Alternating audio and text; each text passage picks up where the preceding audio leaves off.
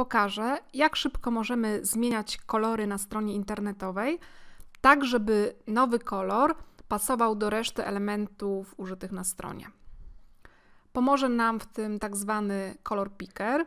Jest to narzędzie z pakietu Developer Tools. Pakiet ten jest wbudowany w przeglądarkę Google Chrome. Zacznijmy od przykładu.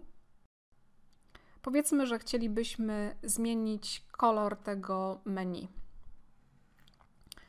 Najeżdżamy na menu i prawym klawiszem myszy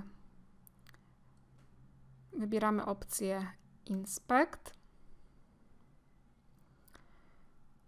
i szukamy reguły, która odpowiada za ustawienie koloru. W tym przypadku jest to background color i w notacji HTML-owej takie piątki to jest kolor szary. Jak ktoś woli operować innymi notacjami, to wystarczy, że przytrzymując Shift kliknie sobie w kwadracik i może zmieniać sobie numerki w innych notacjach. I teraz jak klikniemy sobie na te numerki, możemy je edytować. Wpiszmy inny kolor, na przykład red, żeby upewnić się, że wybraliśmy właściwą regułę CSS, działa. Może jeszcze green również działa. I moglibyśmy się tak jeszcze bawić i bawić, ale chodzi o to, żeby ten nowy kolor pasował do elementów reszty strony. I tutaj na pomoc przychodzi nam Color Picker i on jest dostępny w momencie, jak sobie tutaj klikniemy w ten kwadracik. Klikamy, mamy i teraz zobaczcie, co się dzieje. Jak zaczynam jeździć myszą po stronie, to pojawia mi się taka lupka i ona zmienia kolory. Jeszcze ta lupka ma w środku taki czerwony kwadracik. E, I teraz, jeżeli chcę zmienić kolor mojego menu, powiedzmy na ten niebieski, to muszę w tym kwadraciku mieć ten kolor, na który chcę zmienić. Spróbujmy.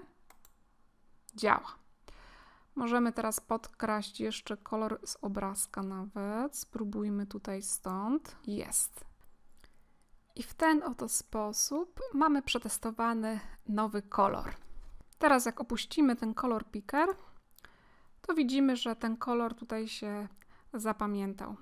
I wystarczy, że zupdate'ujemy w naszym pliku CSS tą regułę. Bo oczywiście te zmiany, które robiłam tutaj, są tylko na poziomie naszej przeglądarki. No ja niestety nie mam dostępu do serwera NASY, więc zrobimy podobny przykład na moim blogu. Powiedzmy, że chcę zmienić tytuły tych widgetów z szarych na takie, jak mają tytuły moich wpisów, czyli niebieski. Więc tak, klikamy na tytuł elementu, którego kolor chcemy zmienić. Prawy klawisz myszy, Inspect. Klikamy dla reguły kolor w kwadracik. Otworzył nam się kolor picker. I teraz najeżdżamy lupką na kolor, na który chcemy zmienić. Ok, musimy wycelować w środek. Jest. Klik. I napis został zmieniony. Zamykamy kolor picker. I teraz musimy tą regułę zapisać u nas na stronie, na serwerze. Kopiujemy regułę do schowka. Ctrl-C. I teraz większość motywów w personalizacji